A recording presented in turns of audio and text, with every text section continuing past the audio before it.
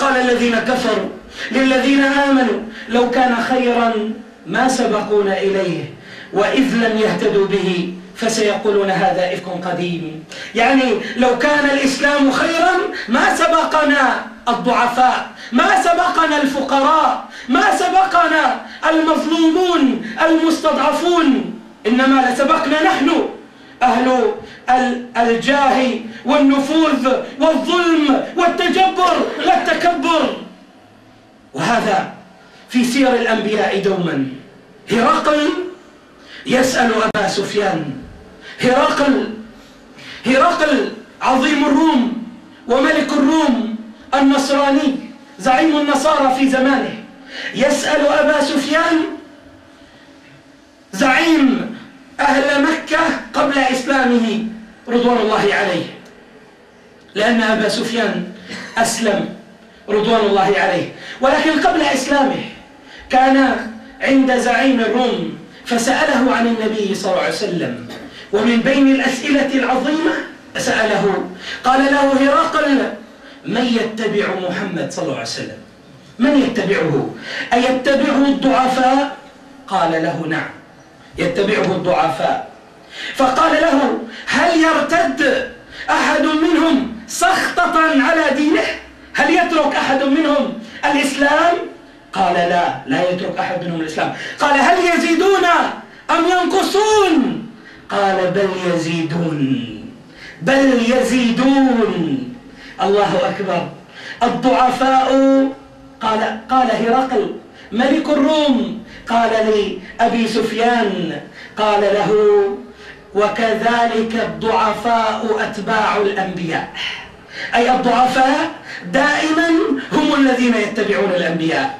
قال له هل يرتد أحد منهم عن دينه سخطة؟ يعني لا يعجبه هذا الدين؟ قال لا. قال كذلك الإيمان إذا خالط بشاشة القلوب.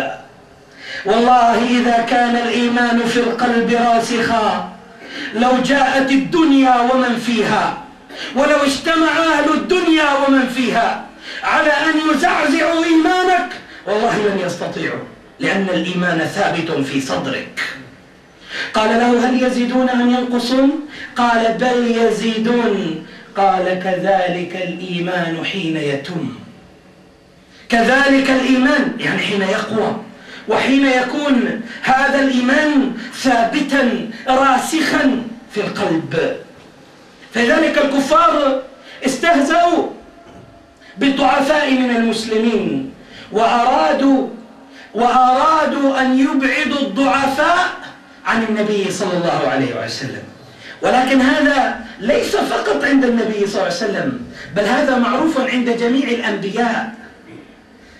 لأن قوم نوح قالوا لنوح فقال الملأ الذين كفروا من قومه ما نراك إلا بشرا مثلنا وما نراك اتبعك إلا الذين هم أراذلنا. بادئ الرأي وما, نراك وما نرى لكم علينا من فضل بل نظنكم كاذبين. انتبه يا عبد الله. قوم نوح الملأ الذين لم يؤمنوا قالوا لنوح قالوا ما نرى إلا يتبعك الضعفاء ويتبعك المظلومون. أما كبارنا وساداتنا فلا يتبعوك. هذا أمر طبيعي لأن السادة والكبار إذا اتبعوه فقدوا جبروتهم وفقدوا ظلمهم. أما المظلوم الضعيف فهو الذي يريد الحرية ويريد الخير والحرية إلا باتباع الأنبياء واتباع المرسلين واتباع الحق. ولا أقول لكم عندي خزائن الله ولا أعلم الغيب. ولا أقول إني ملك. ولا أقول للذين تزدري أعينكم. لن يؤتيهم الله خيرا. الله أعلم بما في نفوسهم. إن إذن لمن الظالمين. ضعيف. أشعث أغبر. ذي طمرين. لا يعجب الناس ولكنه إذا رفع يديه إلى السماء ودعا الله فإن الله يقبل منه الدعاء. فلذلك كان الضعفاء دائما أتباع الأنبياء. فماذا فعل المشركون؟ سعوا لأن يبعدوا ضعفاء المؤمنين عن النبي صلى الله عليه وعلى آله وسلم.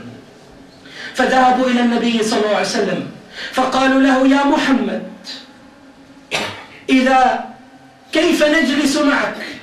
كيف نقعد معك؟ وهؤلاء عندك. فأبعدهم واطردهم. نجلس معك ونقعد معك. وتكلمنا على الإسلام. انتبهوا يا أخوة إلى خطوات الشيطان. قالوا له نحن نريد أن نتكلم معك. انتبه. نريد أن نتكلم معك. ولكن أنت أبعد هؤلاء الضعفاء. هؤلاء ابعدهم عنك نجلس معك. فالإنسان الساذج قد تنطلي عليه الحيلة قد تنطلي عليه تلك الحيلة. ولكن رسول الله صلى الله عليه وسلم يوحى إليه من عند الله سبحانه وتعالى.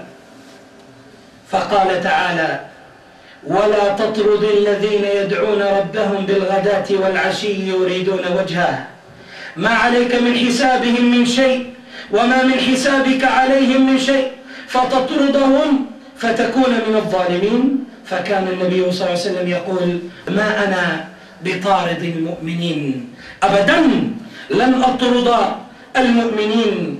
فأنزل الله سبحانه وتعالى واصبر نفسك مع الذين يدعون ربهم بالغداة والعشي يريدون وجهك. وجهه. ولا تعد عيناك عنهم. تريد, تريد زينة الحياة الدنيا. ولا تطع من أغفلنا قلبه عن ذكرنا.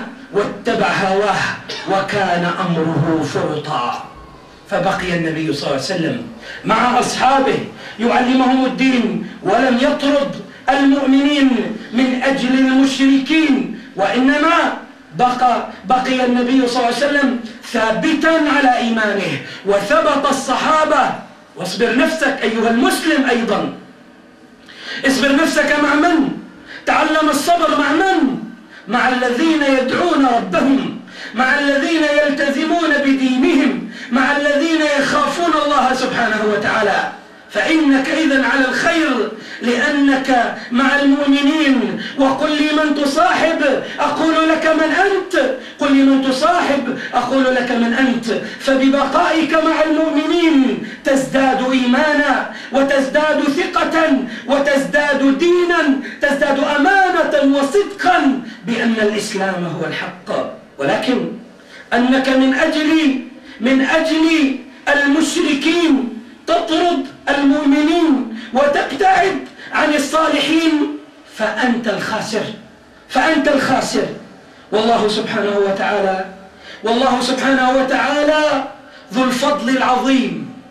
والذي يشكر الله سبحانه والذي يشكر الله سبحانه وتعالى الله سبحانه وتعالى يزيده والذي يتقي فالله سبحانه وتعالى يجعل له مخرجا. والذي والذي يتوكل على الله فالله حسبه. ومن يستغني يغنيه الله ومن يستعفف يعفه الله. فانتبه يا عبد الله وهذه سيرة الأنبياء لتكون مشعلا ومنارة ونورا لك في طريقك وفي حياتك. فكن مع المؤمنين. كونوا مع المؤمنين. كن مع عباد الله الصادقين. وكن مع الذين يدعون ربهم بالغداة والعشي مع الذين يذكرون الله مع الذين يذكرون الله في كل حين. فأسأل الله سبحانه وتعالى أن يثبتنا على طريق الأنبياء جميعا.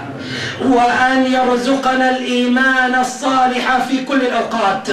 وأن يجعلنا وإياكم من المتقين. وأن يرزقنا ويكتبنا وإياكم في عليين. إنه على كل شيء قدير. الإسلام والقرآن والجنة. أحب جحافل الإيمان ترفع راية السنة أحب الله والإسلام والقرآن والجنة. أحب جحافل الإيمان ترفع راية السنة.